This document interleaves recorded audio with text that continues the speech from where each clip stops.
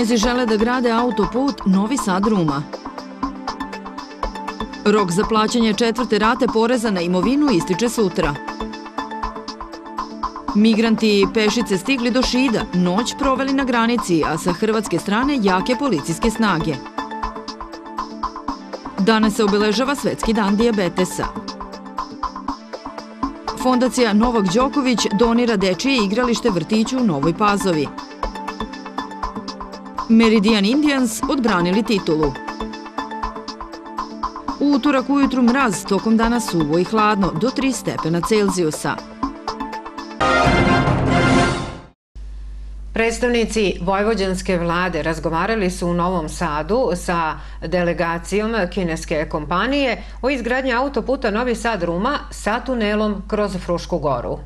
Nakon više od dve godine od kada su pokrajinska vlada i vlada Srbije, grad Novi Sad i opštine Irig i Ruma potpisale protokol o pripremi projekta izgradnje trase autoputa od Rume do Novog Sada, završena je priprema idejnog projekta na gotovo celoj trasi puta.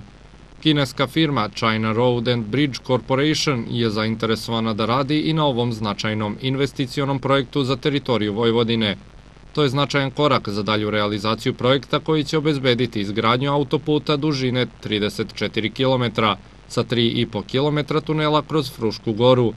Izgradnja autoputa Novi Sad Ruma sa tunelom kroz Frušku goru je projekat koji je uvršten u nacionalni plan prioriteta za izgradnju infrastrukture. Ovaj tunel bi spojio Vojvodinu sa zapadnom Srbijom, izbegavajući postojeći tranzit kroz nacionalni park.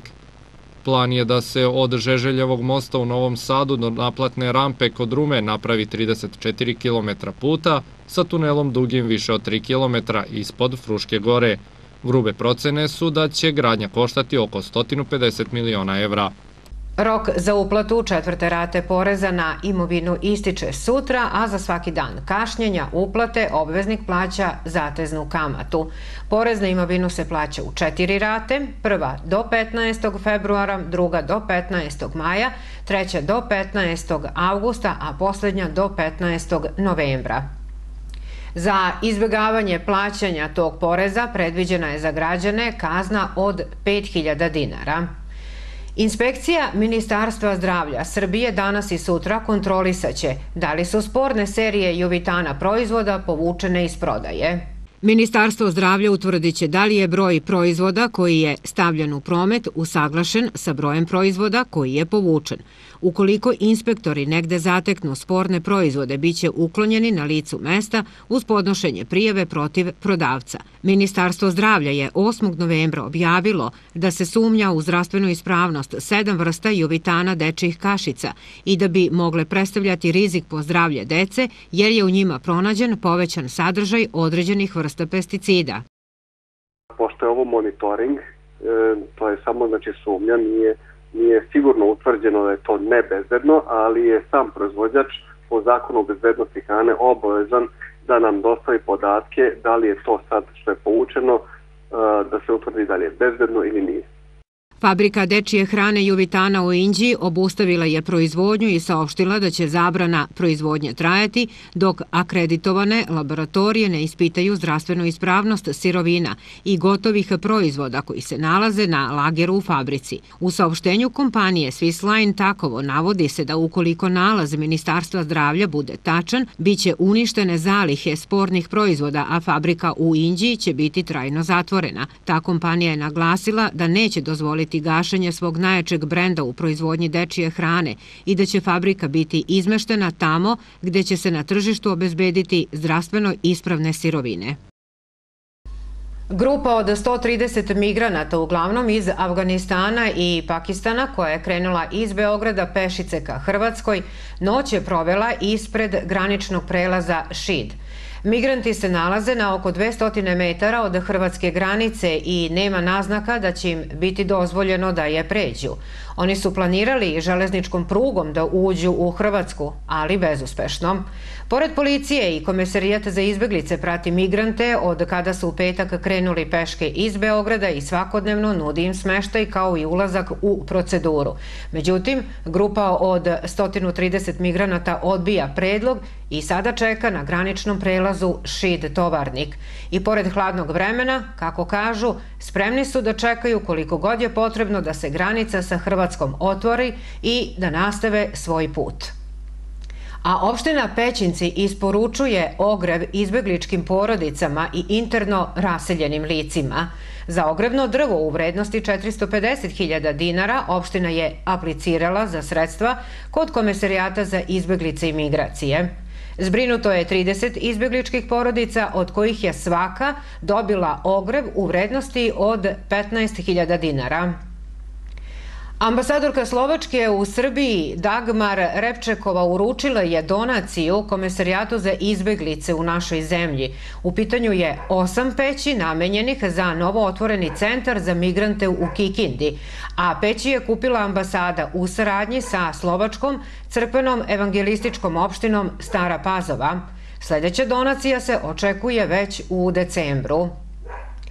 Policija u Rumi odredila je zadržavanje do 48 sati za RJ starog 50 godina zbog postojanja osnova sumnje da je izvršio krivično delo nasilja u porodici. On se tereti da je udario nepokretnu majku i lakše je povredio. Osumnjičeni će biti doveden na saslušanje u osnovno javno tužilaštvo u Rumi. Za građane Žarkovca i Putinaca počelo je organizovano glasanje u okviru projekta participativno budžetiranje. Na glasačkom listiću se nalaze šest gradskih i četiri seoska projektna predloga, kao što su biciklističke staze, rekonstrukcija parkića, doma kulture, izgradnja učionice na otvorenom i drugo. U utorak 15. novembra biće organizovano glasanje u Dobrincima, u četvrtak u Hrtkovcima i Nikincima, a do 21. novembra glasanje će trajati u Rumi. Svetski dan diabetesa obeležen je danas nizom akcija. Ovogodišnja kampanja pod sloganom Pogled na diabetes usmerena je na promociju značaja skrininga diabetesa i njegovih komplikacija. Inđijski dom zdravlja je povodom ovog dana organizovao akciju merenja šećera u krvi i krvnog pritiska građanima Inđije. Svetski dan diabetesa koji se obeležava 14. novembra prilika je da se podsjetimo i na značajno ime Frederika Bantinga, kanadskog naučnika, lekara i dobitnika Nobelove nagrade za fiziologiju i medicinu. Danas se navršava 125. godišnjica njegovog rođenja, a značaj njegovog otkrića insulina koje je dovelo do spasavanja miliona života onih koji su oboleli od diabetesa je neprocenjiv. Svetski dan diabetesa je prilika da se ukaže i na značaj ovog oboljenja, napominje dr. Zdenko Gajić, epidemiolog Inđijskog doma zdravlja. Diabetes je ogroman, rastući javnozdravstveni problem. 2015. godine u svetu je 415 miliona odraslih osoba imalo diabetes, a očekuje se da će do 2040. godine svaka deseta odrasla osoba ili 642 miliona ljudi živeti sa diabetesom.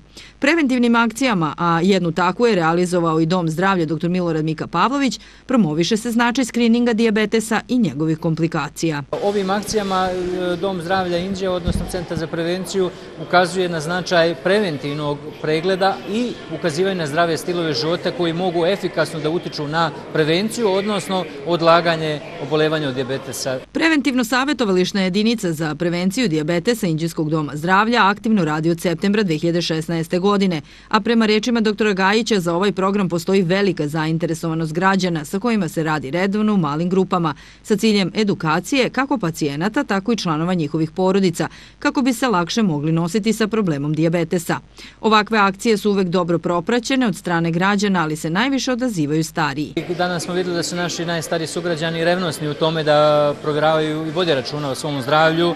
Apelovaju ovim putem da se i mladi ljudi uključe u ovo, kažem, i putem se stava informisanja preko vaših televizija. Mi ćemo nekako pokušati da te informacije plasiramo, ali mnogo je bitno, kažem, da se oni uključe u ovo sve, je li činjenica i da mladi puno ubolevaju u posljednje vreme od diabetesa ukazuje na činjenicu da trebamo svi da se uključimo u tu akciju. U Srbiji je diabetes peti vodeći uzrok umiranja i peti vodeći uzrok opterećenja bolestima. Prema podacima Instituta za javno zdravlje Srbije, dr. Milan Jovanović Batut, u Srbiji je približno 710.000 odraslih osoba sa diabetesom.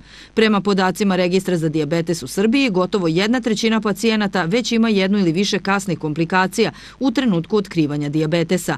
Ove komplikacije značajno utiču na kvalitet života obolelih i glavni su uzrok privremene ili trajne nesposobnosti i prevremene smrti. Ipak ohrabruje činjenica da se primjenom preventivnih intervencija kod osoba sa visokim rizikom za tip 2 diabetesa, ranim otkrivanjem diabetesa i dobrom kontrolom bolesti, obolevanje i umiranje od diabetesa može smanjiti. Veoma je važno redovno kontrolisati svoje zdravlje kod izabranog lekara, proceniti rizik za tip 2 diabetesa i zameniti loše navike zdravim stilom života. Srpska pravoslavna crkva danas obeležava praznik posvećen svetim besrebrenicima, Kozmi i Damjanu, narodu poznat kao Vračevi ili Vrači. Sveti Kozma i Damjan su rođeni u Aziji. Vaspitani su u hrišćanskom duhu i u mladosti su izučili lekarske veštine.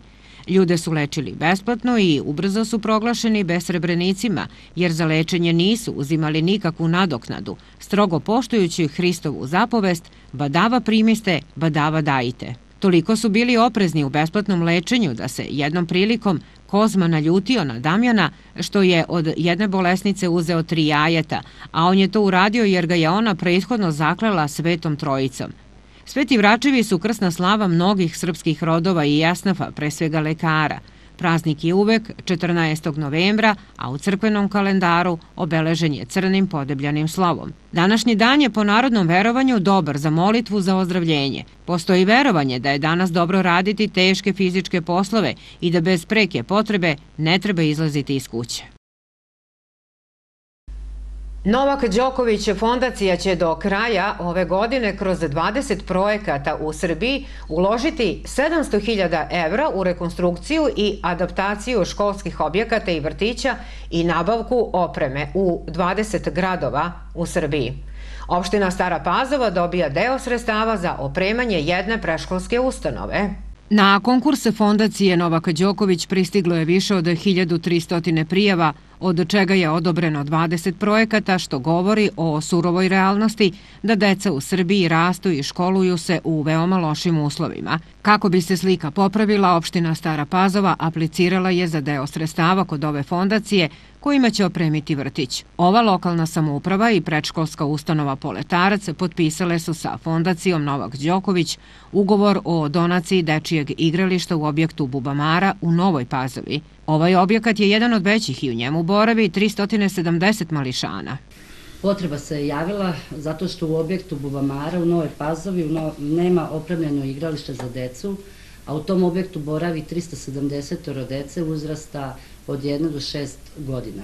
Projekat je vrednosti milioni i po dinara, a do proleća naredne godine bi u dvorištu Novopazovačkog vrtića Bubamara trebalo da budu postavljena dva mobilijara – Ugovor je ispred fondacije Novaka Đoković potpisala Gorana Jakovljević. Jedan od naših osnovnih motiva za odabir ovog projekta je bio je to što vrtić broj, ima tako veliki broj dece e, i da u novoizgrađenom objektu ne postoji e, bilo kakav mobilijer.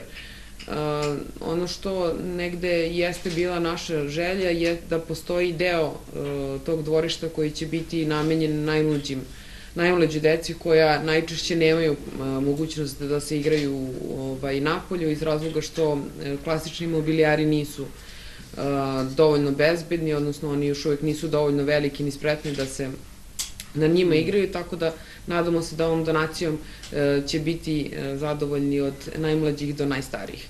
U ime Stare Pazove ugovor je potpisao predsednik te opštine Đorđe Radinović. I mislim da je ovo velika sreća i velika radost te dece kada ovako prelepi ovi tereni za decu za igru budu izgrađeni u Stare Pazovi. Zaista najiskrenije od srca se zahvaljujem još jednom fondaciji Novog Đoković što je upravo odlučila da investira svoju donaciju u vrtiću Staru Pazovu. Predviđeni ovogodišnji budžet fondacije od oko 700.000 evra doneće dobrobit za oko 5.000 mališana širom naše zemlje. Ova humanitarna aktivnost stoji iza kvalitetnog ulaganja i poštovanja ljudi, saradnika i svih učesnika fondacije Novak Đoković. Srem Basket iz Pećinaca je postao prvi košarkaški klub iz Pećinačke opštine u pionirskoj konkurenciji do 15 godina koji se plasirao u prvu ligu Vojvodine. E, to im je uspelo proteklog vikenda odličnom igrom na Final Four turniru Sremske lige u Košarci za uzrast 2002-2003. godište održanom u Donjem Tovarniku.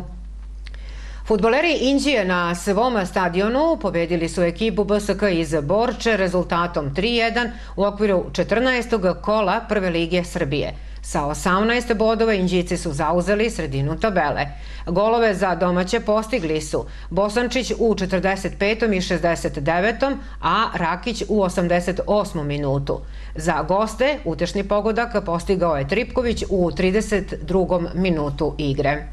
Vesti iz američkog futbala sastale su se ekipe Indije i Beograda. Na završnom turniru Seniorske flag Lige Srbije, koje je održano 12. novembra u Novom Beogradu, takmičilo se šest ekipa koje su učešće izborile plasmanima u grupama Sever i Jug. Iz grupe Sever u završnicu Lige plasirale su se ekipe Meridian Indians iz Indije, Grofovi iz Novog Kneževca i Orlovi sa Novog Beograda. Zlatni medvedi iz Bora, Divlji veprovi Kragujevac i Vukodlaci iz Valjeva bile su najbolje ekipe u grupi Jug. Ekipa Meridian Indiansa u polufinalu je savladala ekipu iz Valjeva rezultatom 41 prema 6 i time se plasirala u finale. Meridian Indiansi odbranili su titulu prvaka Srbije na ovom turniru, pobedivši domaćina turnira ekipu Orlova sa 45-38 i tako sačuvali šampionski pehar u svojim vitrinama. Svaki od igrača dao je svoj doprinos u pobedi Indijansa, ali su se istakli Goran Zec i Miloš Katić. Treće mesto i bronzanu medalju izborili su Golden Bearsi iz Bora. Iako je kiša prestala da pada, vodostaji na rekama su povišeni. Dežura se na tačkama na kojima je najavljena opasnost. Ovo je stanje na rekama u Sremu. Sava kod Sremske Mitrovice i dalje u porastu. Trenutni nivo je 545 cm. Prognozira se da će do petka biti 6 metara, a granica redovne odbrane od poplava, podsjećamo, je 6,5 metara. Dunav do Slankamena je u stagnaciji nizvodno u manjem porastu naredna tri dana. Današnji nivo je oko 4 metra. Inače i Sava i Dunav su u domenu srednje visokih vrednosti za novembar. Vozačima se u većini krajeva Srbije savetuje oprez zbog magle koja smanjuje vidljivost i mokrih i klizavih kolovoze i moguće polednice. Narednih dana nas ne očekuju padavine, već suv i stabilan period je pred nama. U utorak suvo i hladno sa slabim jutarnjim mrazem i mestimično smaglom, koje će se ponegde po kotlinama i u nižim predelima zadržati duže. Tokom dana umereno oblačno sa sunčanim intervalima. Jutarnja minimalna temperatura minus 1, najviša dnevna plus 3.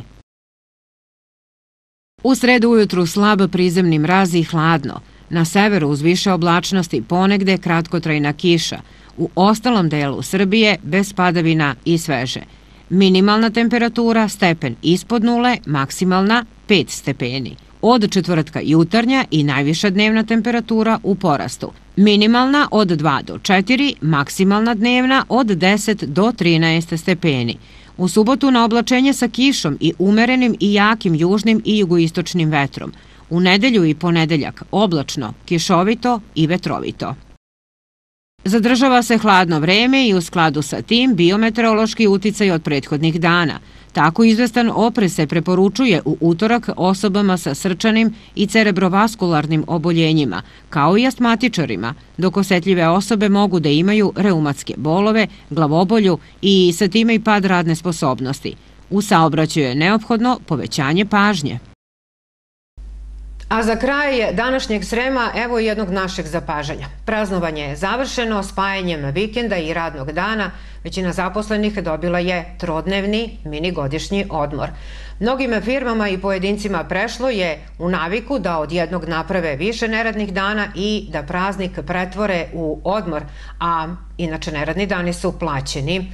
I to našu zemlju stavlja na vrh liste po broju državnih praznika koji se proslavljaju neradno. Mnogim firmama i pojedincima prešlo je u naviku da od jednog naprave više neradnih dana i da praznik pretvore u raspust. Zbog toga se može čuti da previše praznujemo i da takav luksuz za sebi ne mogu da priušte ni mnogo bogatije zemlje. Iako nas bije glase da volimo da osustvujemo sa posla, zakonom je godišnje propisano 10 neradnih prazničnih dana. I to našu zemlju stavlja na dno liste po broju državnih praznika koji se proslavljaju neradno. Na spisku su prema zakonu o državnim i drugim praznicima novogodišnji i božićni, 1. 2. i 7. januar. Ne radi se dva dana za Dan državnosti Srbije koji se obeležava na Sretenje 15. februara, a praznuje se i Vaskrs. Ne radi se na Veliki petak, na dan praznika koji je uvek u nedelju, kao i drugi dan Vaskrsa. Dvodnevni međunarodni praznik rada takođe se obeležava neradno 1. i 2. maja. U kalendar neradnih dana pre šest godina uveden je i dan primirja u Prvom svetskom ratu 11. novembar. Za sociologe zvanični kalendar je jedno, a nezvanični nešto sasvim drugo. Zaposleni imaju pravo i na dan krsne slave, odnosno kada su lični praznici. Kinezi žele da grade autoput Novi Sad-Ruma. Rok za plaćanje četvrte rate poreza na imovinu ističe sutra. Migranti pešice stigli do Šida, noć proveli na granici, a sa hrvatske strane jake policijske snage. Danas se obeležava Svetski dan diabetesa. Fondacija Novak Đoković donira dečije igralište vrtiću u Novoj Pazovi. Meridian Indians odbranili titulu. U utorak ujutru mraz, tokom dana suvo i hladno, do 3 stepena Celzijusa. Danas je ponedeljak, 14. novembar. Počela je 47. radna sedmica u 2016. godini. Pratili ste Srem danas, centralna informativna emisija radio televizije Mega iz Indije. Hvala vam na pažnje.